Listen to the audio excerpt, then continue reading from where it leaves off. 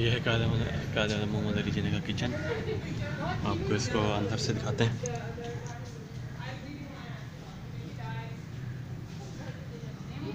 वो